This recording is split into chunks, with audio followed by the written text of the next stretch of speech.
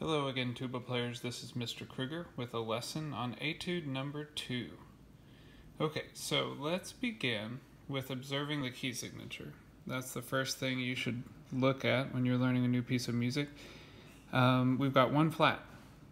Okay, and so if you know the order of the flats, um, when you have one flat, the first flat is B flat. So the only note that's going to be flat, unless it's marked otherwise, is going to be B. So over here, we've got B flat, right? But that's a natural next to it. And right here, your good old friend E, you know, a lot of people like to play E flat most of the time, but this is E natural. So you're going to finger that second valve. Oops, I made a little mark on this. All right, okay. So um, make sure you're, you're careful about that with the key signature. I also want to point out a danger spot with the accidentals. Look at measure 11 over here. You'll see I have a mark. I've marked it already, but there's a rule. When we have a flat here on this A flat, that means all of the A's that are after this A are also, that, that flat's going to carry to them. Okay, and until we have a bar line and there's our bar line right okay so this is before the bar line and so that's an A flat so I went ahead and drew a little flat underneath it as a friendly reminder so that I never miss that A flat okay and I would uh, advise you to go ahead and mark that A flat that's a really smart idea Okay, so that's most of the key signature stuff. I mean, you know, get all you, there's a lot of E naturals, so you got to be careful about that. The rhythms are the next thing that I want to draw to your attention and to teach you about. Okay, most of these rhythms are pretty basic, um, with the exception of really maybe two different kinds of rhythms. Okay, the first is easier. I'm going to point out uh, how to count. Look at measure nine here.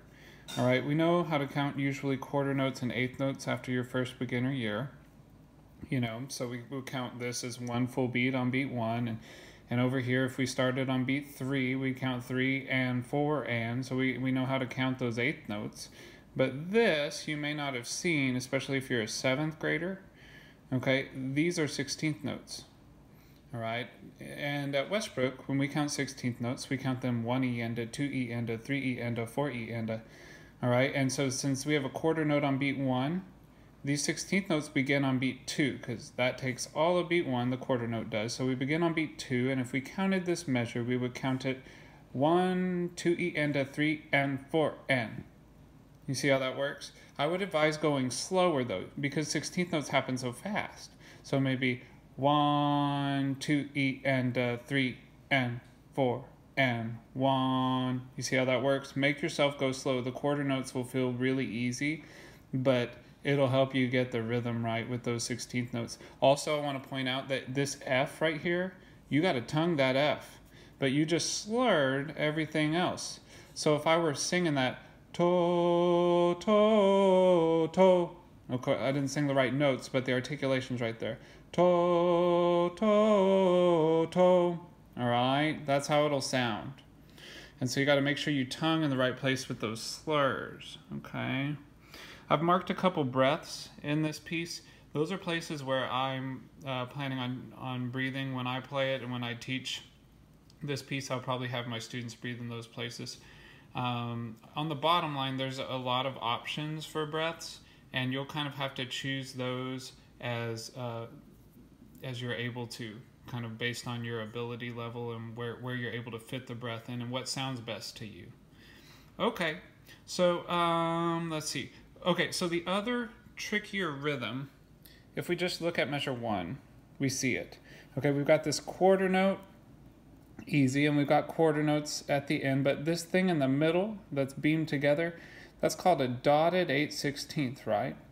Okay, now this rhythm may not be familiar to you, and I want to just review or teach, if you've never seen it before, some basics about how to understand this rhythm and how to count it.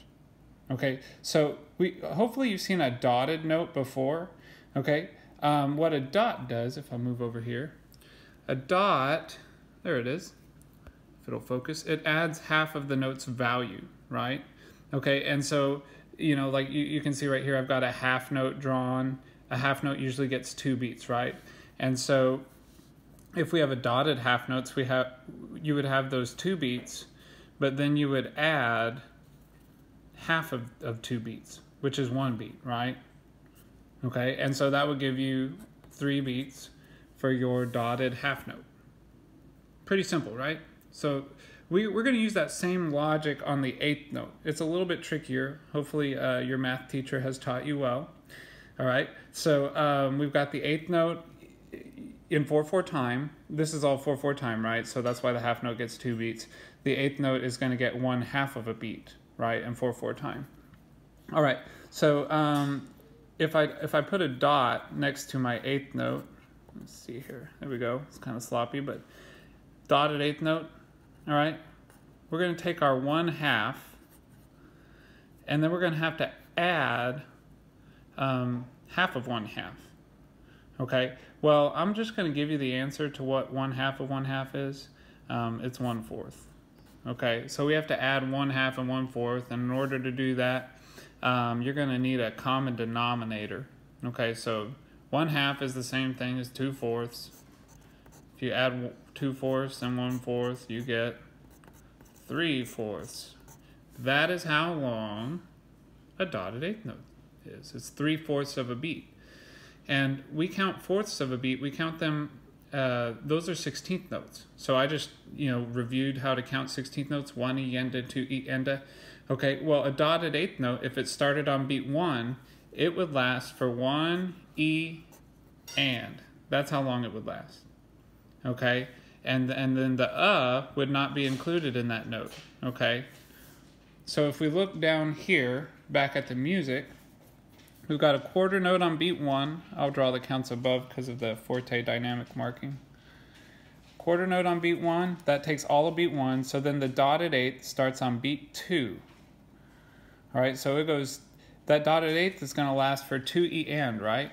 Two E and. That's how long it is. I'm gonna group all of that together.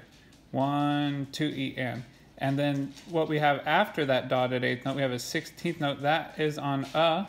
Some people call it duh, depending on how you want to count. So we have one, and then this is two e and, and that's uh. And then these quarter notes are on beat three and beat four. So if I were counting it, I would I would count one, two, a three, four. You see how that works? Or or if you were going to subdivide, you'd think one, two e and da three, one, two e and da three, four da da da da da. You see how that works? All right, and and so you've got these dotted eight sixteenths sprinkled all throughout this piece, but they're all going to be counted in that same way. So like measure two will be one and two, a three, four. Measure three, one, two, a three, four, and one, two, a three, and so forth. All right, so hopefully that gives you a good start on how to uh, figure this piece out. Best of luck.